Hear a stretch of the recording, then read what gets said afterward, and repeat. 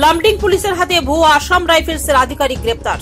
নিজেকে আসাম রাইফেলসের উচ্চপদস্থ আধিকারিক পরিচয় দিয়ে দুই কোটির অধিক টাকা হাতিয়ে নিয়েছেন রূপম মজুমদার নামে এক প্রতারক। লামডিং পুলিশের হাতে ধরা পড়ল ভুয়ো আসাম রাইফেলসের আধিকারিক। অভিযোগে প্রকাশ, নিজেকে আসাম রাইফেলসের উচ্চপদস্থ আধিকারিক বলে পরিচয় দিয়ে রূপম মজুমদার নামের এক প্রতারক ব্যবসায়ীদের কাছ থেকে দুই কোটিরও অধিক টাকা হাতিয়ে নিয়েছে। রাজ্য সরকারের পুলিশের চোখে ধুলো দিয়ে দুই কোটির অধিক টাকা তুলে নিয়ে পালিয়ে বেড়াচ্ছিল এই ভুয়া আসাম রাইফেলসের আধিকারিক রূপম মজুমদার। কিন্তু শেষ রক্ষা হয়নি। শেষ পর্যন্ত লামডিং পুলিশের হাতে গ্রেপ্তার হলো প্রতারক রূপম মজুমদার।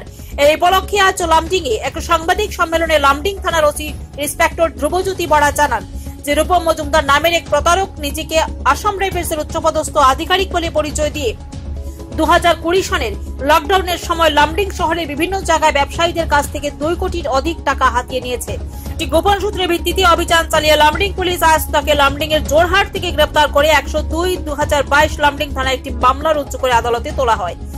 ধ্রুবজ্যোতি বড়া জানান যে তদন্তের সাথে মহামান্য আদালতের কাছ থেকে অনুমতি নিয়ে প্রতারক রূপম মজুমদারকে পুলিশ রিমান্ডে আনা হয়েছে।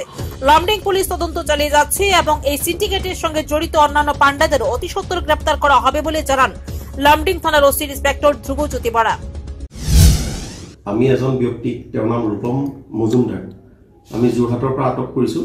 তেখেতক লামডিং থানা গোচৰ নম্বৰ এশ দুই অব্লিক দুই হাজাৰ বাইছ। এই গোচৰ সংক্ৰান্তে গ্ৰেপ্তাৰ কৰা হৈছে। আৰু এই গোচৰটো আছিলে কি? যে ৰূপম মজুমদাৰ নিজকে এজন আছাম ৰাইফলছৰ অফিচাৰ বুলি মিছাকৈ কৈ লামডিঙৰ ভালেকেইজন ব্যৱসায়ীৰ পৰা বিভিন্ন সময়ত বস্তু ছাপ্লাই লৈছিলে আমাৰ লকডাউনৰ সময়ত।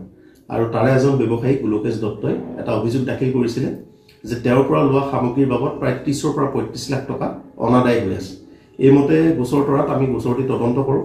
তদন্ত কাৰ্যত দেখা যায় যে উক্ত ব্যক্তিজন ৰূপম মজুমদাৰে এই ধৰণে যিটো তেওঁলোকক ঠগিছে এই কথাটো সত্য। গতিকে সাক্ষীবাদী অন্যান্য ডকুমেণ্ট এই সকলোখিনি পৰীক্ষা নিৰীক্ষা কৰি আমি যিহেতু নিশ্চিত হৈছোঁ যে ৰূপম মজুমদাৰে এই অপৰাধটো সংঘটিত কৰিছে। গতিকে আমি তেওঁক যোৰহাটৰ পৰা গ্ৰেপ্তাৰ কৰিছোঁ এই গোচৰ সংক্ৰান্তে।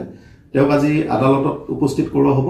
আৰু এই গোটেই যিটো স্কেম কৰিছে তেওঁ যিমানখিনি টকা বিভিন্নজন ব্যক্তিৰ পৰা ঠগিছে এই সমস্ত হিচাপ লোৱাৰ কাৰণে আমি তেওঁক পুলিচ ৰিমাণ্ডতো বিচাৰিছোঁ।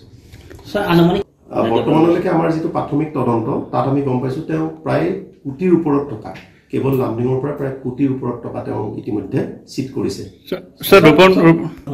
নাই সেই কথাটোকে আমি কৈছোঁ যে যদি তেনেকুৱা কিবা আছে সেইখিনি উলিয়াবৰ খাতিৰতে আমি তেওঁক ৰিমাণ্ডত বিচাৰিছোঁ।